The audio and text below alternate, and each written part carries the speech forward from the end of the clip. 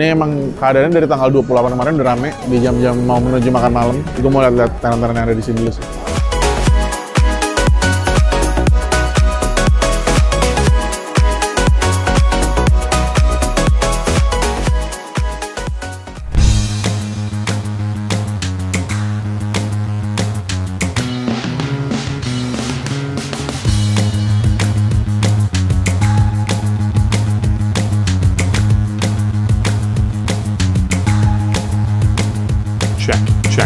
Check check. Kembali lagi dalam program Yukepo bersama saya Kenneth Agusta Yanuar. Ngomong-ngomong soal Bali, kita pasti akan langsung kepikiran tempat wisata ikonik di sana. Ada Pantai Kuta, Pantai Nusa Dua, wisata alam di Ubud, Tanah Lot, GWK, dan masih banyak lagi. Tapi Bali nggak cuma tentang pemandangan alamnya aja yang indah. Bali juga punya warisan budaya seperti tarian dan juga kuliner yang banyak banget. Salah satu wisata kuliner terkenal di Bali adalah babi guling Pak Malen. Babi guling Pak Malen ini siapa sih yang nggak kenal? Apalagi buat teman-teman generasi cashless mungkin yang sering banget ke Bali pasti udah nggak asing. Nah, babi guling Pak Malen ini dibawa oleh Go Market IO ke Jakarta selama 12 hari. Jadi buat teman-teman yang di Jakarta nggak perlu jauh-jauh untuk ke Bali untuk cobain babi guling Pak Malen ini. Hadir di Lipo Mall Puri dengan event Local Pork Festival Babi Guling Pamalen Bali and Friends. Di sana sudah ada Frankie yang akan memberikan informasi terkait event di sana. Halo Frankie, seperti apa situasi event di sana? Oke Nat, Eh, kali ini gue yang ada di event, kali ini ada gue yang di lapangan. Kebetulan ini lagi ada di event Local Park Festival, lokasinya ada di Coffee Walk di Mall Eh, event ini tuh namanya Local Park Festival, tadi gue udah ngomong juga, Local Park Festival dengan judul kecil eh, Babi Guling Pamalen, Bali, and Friends. Eh, event ini berlangsung dari tanggal 28 Februari kemarin sampai nanti tanggal 10 Maret. Sekarang kita mau ngeliat ke dalam dulu aja kali event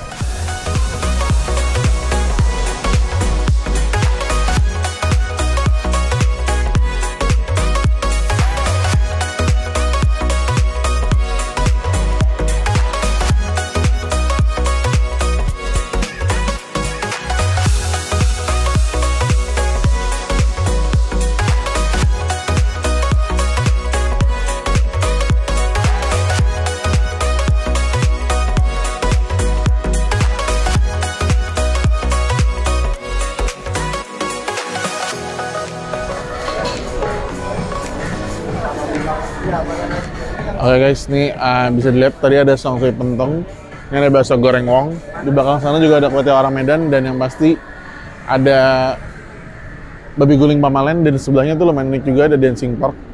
Mungkin nanti bisa ngeliat ke arah sana. Ini emang keadaannya dari tanggal 28 kemarin udah rame dan ini hari Selasa. Ini gue syuting di hari Selasa di hari weekdays masih rame juga di jam-jam mau menuju makan malam. Ini masih rame juga jadi gue mau lihat-lihat uh, tenan-tenan yang ada di sini dulu sih.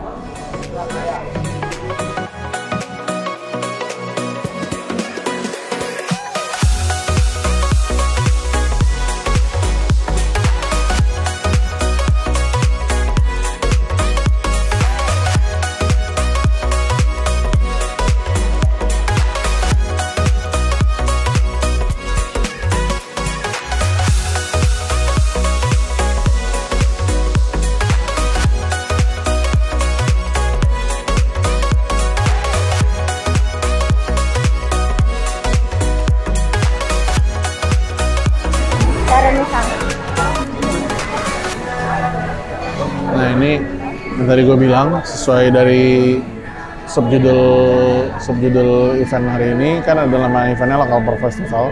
Sub event judulnya tuh ada uh, babi malen, babi guling pamalen, Bali with friends, orang and friends. Uh, kebetulan gue udah pernah nyobain uh, warung babi guling pamalen yang di Bali. Itu adanya di itu ada di Sunset Road di Seminyak Bali.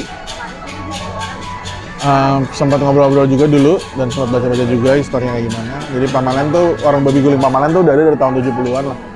Dia Pamalen tuh ngebangun warung babi guling ini dari tahun 70-an dan dia emang orang asli Bali. Cuman sekarang uh, udah dikelola sama anak-anaknya. Sekarang dikelola oleh Iwayan Dana. Pak Malen sendiri meninggal tahun 2019. Jadi kalau pada cobain warung babi guling Malen ini, menu favoritnya tuh nasi campur babi guling. Isinya sebenarnya kalau misalkan waktu yang gue cobain waktu di Bali itu nasi putih, ada lawarnya, sayur-sayuran gitu, ada sambal mata, sama ada babi gulingnya pasti. Nah, itu yang uh, paling favorit lah, menu paling favorit yang dari warung babi guling. Segitu aja Nat, paling gue mau balikin lagi ke studio. Baik, terima kasih Frankie. Nah, Local Pork Festival ini benar-benar menjadi surganya buat pecinta olahan babi. Dari kerupuk kulit hingga sate babi.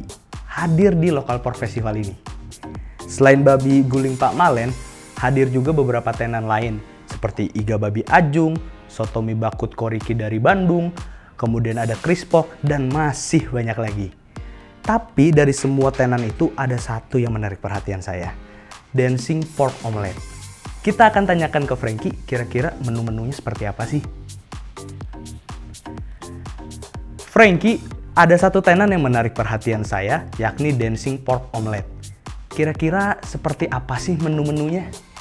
Oh iya. Uh, salah satu informasi lagi yang pengen gue tahu adalah, jadi di lokal per festival ini, di event ini, itu tenan-tenannya nggak cuma dari sekeliling-sekeliling kita aja, tapi ada beberapa yang kayak ini di belakang gue, uh, soto mie bakut koriki ini dari Bandung, terus di sana juga ada Chris Pork dari Surabaya, jadi berbagai daerah lah yang ada, ada berbagai daerah yang buka tenan di sini.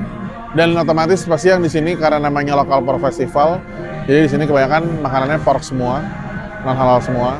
Terus sebenarnya hal satu lagi ada salah satu tenan lagi yang lumayan uh, mau gue lihat sih sebenarnya itu namanya dancing pork karena dari makanannya juga unik sendiri.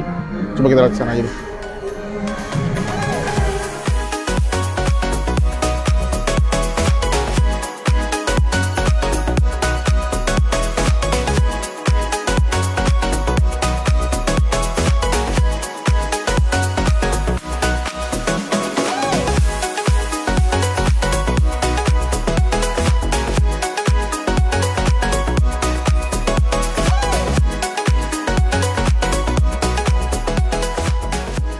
Nat, tadi yang seperti gue bilang tadi, uh, ini yang gue bilang dancing pork itu.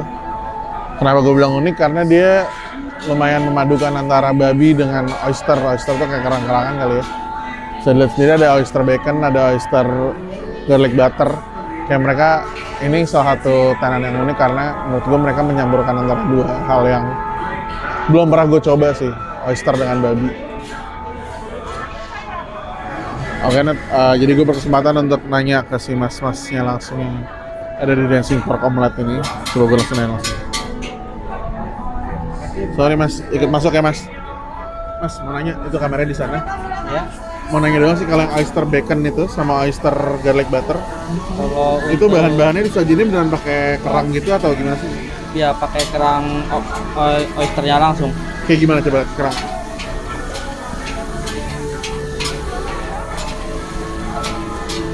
Oh, kayak gini. Boleh kasih lihat kamera, Mas? Oh ya, jadi tapi bukan baconnya di atas oysternya gitu bukan ya? bukan Dia tapi disajinnya dengan oyster ini. iya Oh, saya sama oyster Oke, makasih banyak Mas ya.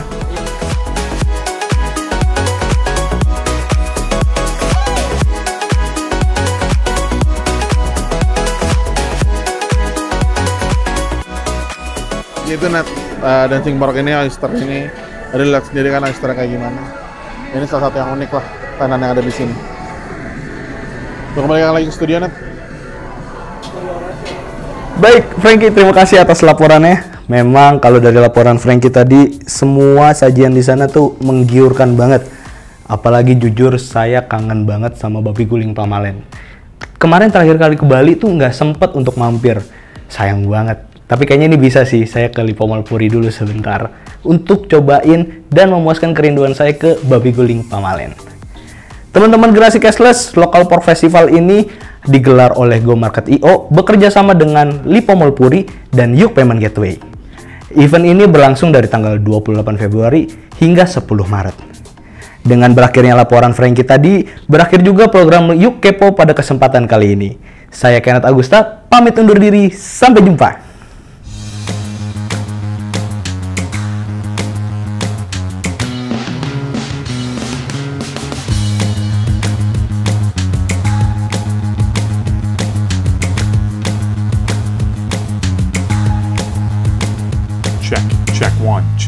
Check,